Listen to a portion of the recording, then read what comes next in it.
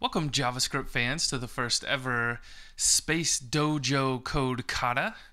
I am your host for this session, Josh Owens.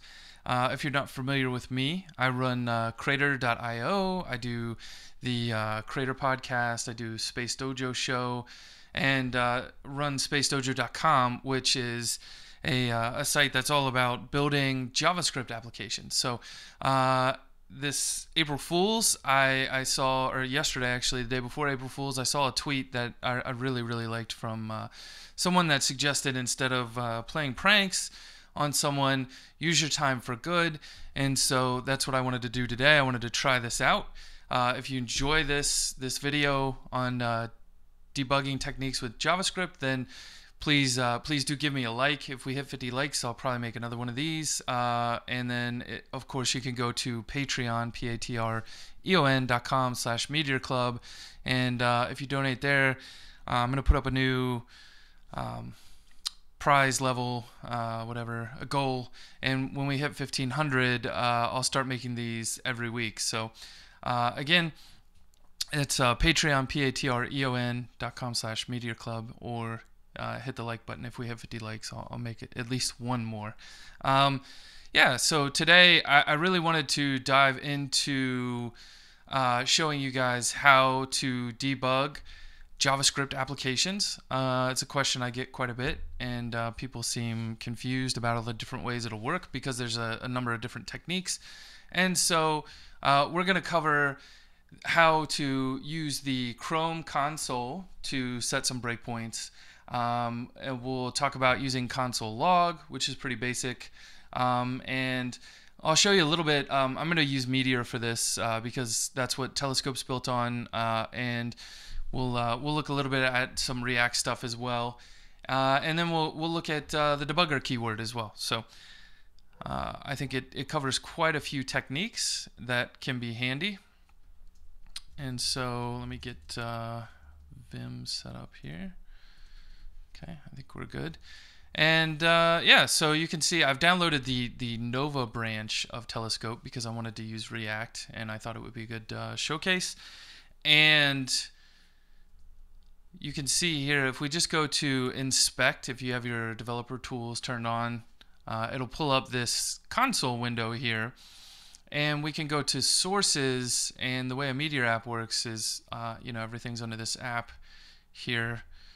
Uh, we can scroll down. You can see all the packages that are being loaded. Uh, Telescope generally loads everything via packages, so we can go into the Nova base components here, and like we can see uh, routes.jsx. This is a flow router uh, routes file. Uh, so if you're familiar with something like React, this is similar to React router, and we can see here on line 11 we're we're just catching the base route and then where this action on line 13 is what's actually going to be performed code wise and so we can set the breakpoint here on line 16 and reload the page. It takes a second. Uh, but you can see we get this nice little pause and debugger here paused right here and we can we can start inspecting things so we can do query.params. Uh, that actually hasn't been set. Oh yeah, yeah, actually it has. It's being passed in, and then we're running. Uh, we're checking to see if it's empty. If it is, we're appending new to it there on line 16. Uh, and then we would we can we can actually step over, right? We can go past that, and it would run this selector line next. Step over. There it is and you can see we pause there. So it's just gonna it's gonna move one point at a time whenever we say step over. So you can see here we get to line 19 where it's actually trying to mount the uh, component into the app container. So it's trying to create this list container and then mount it into the application which is basically how flow router works with react mounter I believe is what it's called uh, and so if we hit continue, one thing that may be a little confusing though is we are compiling this JSX down to JavaScript so that the browser can do something with it. And sometimes the you may try to set a breakpoint somewhere and you can see it like flashes and then moves the breakpoint up to line 13 it uh, it can't set it there and so it's going to set it at the parent level uh, and then you, you you can get into the action and kind of step through if you need to or uh, there is a way i think if you have source maps set up correctly you could probably get to the underlying javascript and figure out how to set a breakpoint if you wanted uh, and then we'll explore setting hard breakpoints, which means you can put them exactly where you want. Uh, we'll get into that at the end of the video. Uh, so let's take a look at now that we've we've set the breakpoints, and you can just click them to clear them. By the way, so you can see we just click here and it goes away. Let's get into uh, console.log. I think that's a this is like probably the most basic, right? This is like the printf if you come from like an old school way of coding, uh, you can just type console.log. And now keep in mind, this is universal JavaScript right here. This is being loaded on the server to do server-side rendering with Telescope. So we need to be careful what we put here. And so we can do, um, I don't know, what do we, we'll just do query params right here. And save that and you'll see it's rebuilding, restarting. And like I said, this is also being loaded on the server. So we're getting the node console log going on right here. And then if we go back over here and check the node ins or the uh, Chrome inspector, we can see that we're getting the same output over here. And I think console log is super basic, but console is actually pretty powerful if you want to look at things. Uh, so you know, I, I think maybe the, the faster way is to just put the breakpoint right here or right after, right? Let's say we want to look at query params. You probably put the breakpoint at line 18 and take a look because you can control it right here from Chrome. The problem is you have to wait for the entire save cycle when you put it into your code on line 17 and everything has to restart basically, which can take a little bit of time. Um, the other thing you can do with console is it's got console.table. So you can do posts.find.fetch, and you can see we get this nicely laid out table. Uh, the other thing you can do is like console.time, and that one's kind of fun. So if you're trying to do some kind of timing test, uh, you can add the console.time, set it up, and then you can call console.time end somewhere and give it the same handle name that you gave it, right? So we just give it like uh, my foo time test and it's going to create one and then we just call time end. It's going to do the same thing. And you can see that it took me uh, 4.5 seconds to type everything in. Uh, so console is super powerful but one thing to keep in mind is that you know this again this is universal JavaScript. So if I type console.table over here node has no clue what that is and it's gonna throw start throwing errors down here in the bottom uh, that says has no method table. So do keep that in mind if you are doing universal JavaScript. All right. Um, I think one thing that I also wanted to show off here is using React can be pretty helpful as well. There's a React Chrome extension you can install, and you can see it's connecting in and instrumenting all our containers and so we can dive down into the different containers. So here's the list container that we rendered in and you can see we can come down here and do dollar sign $R and that's basically putting us into the context of the list container. You kind of get the idea. And you can do the same thing up top here and you can see it tells you it gives you a little reminder like you can use dollar sign $R in the console uh, but we can dive in to the collection this way. We can look at the joins we can actually go deeper.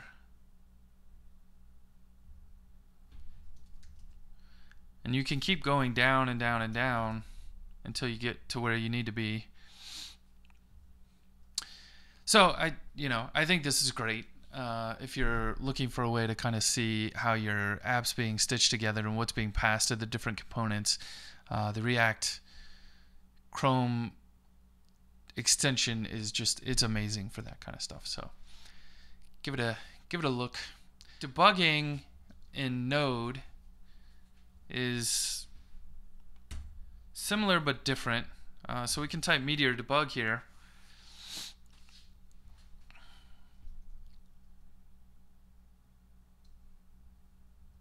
And essentially what's going to happen is it's going to start Node Inspector and we're going to get a uh, you can see here when it when it spits it out we're going to get a, a new URL that we can connect to. So we can just copy this in and paste it into our browser. It runs on localhost 8080 and basically it's instrumenting our node app with some code and some communication can happen back and forth between node inspector and our actual running node app. And uh, the first time you run it with Meteor, you can see it just automatically pauses here. Just hit continue, resume. And we can kind of browse through and find that same spot. Again, this is, ooh, it's loading things. Let me close this one.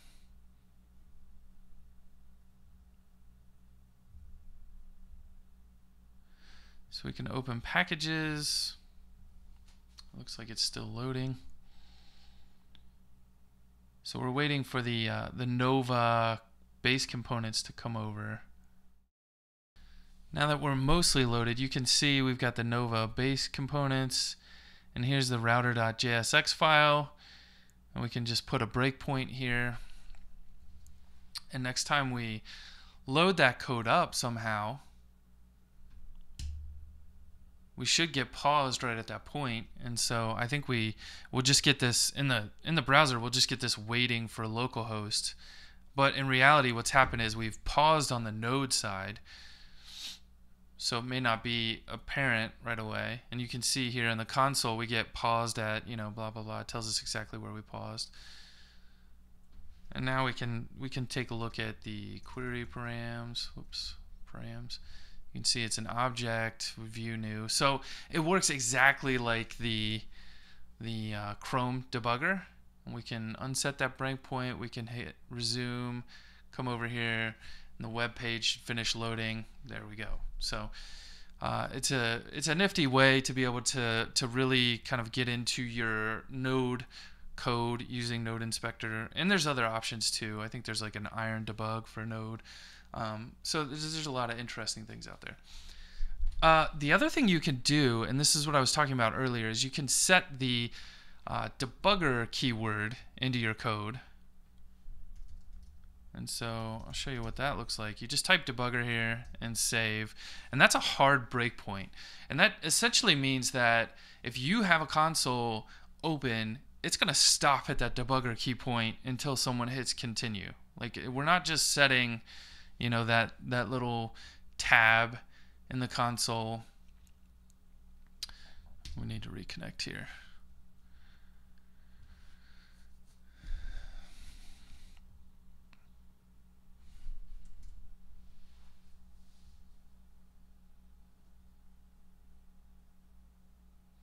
we're paused at that point so we just gotta wait till it pops up and then we can bypass it. And so this is what I was talking about, by the way.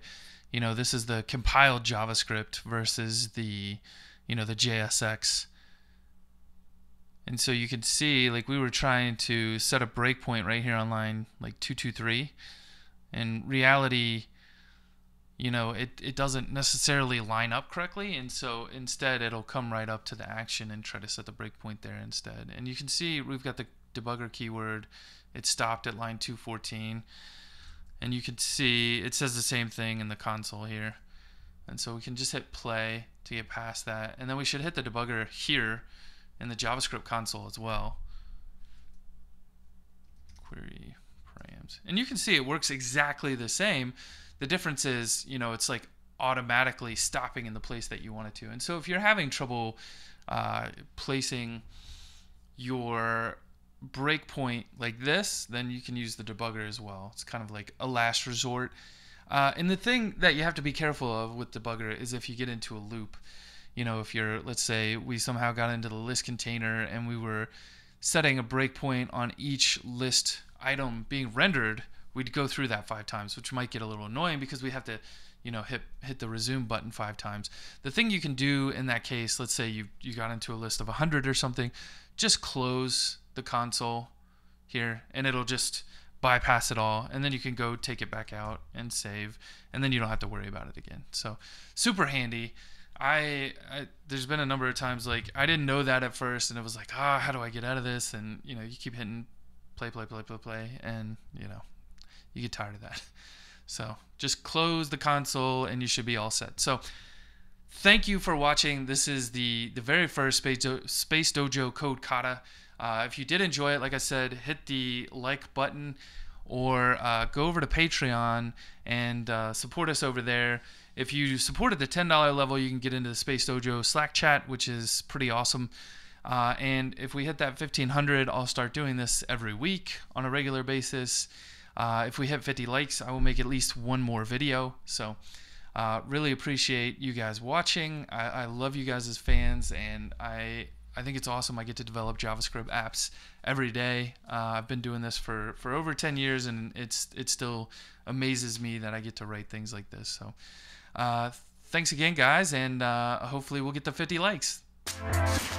This video has been a Space Dojo production. You can click the Learn More button to find out more about us at spacedojo.com. Or you can click the subscribe button to get notified about new videos we put out each week. Thanks for watching.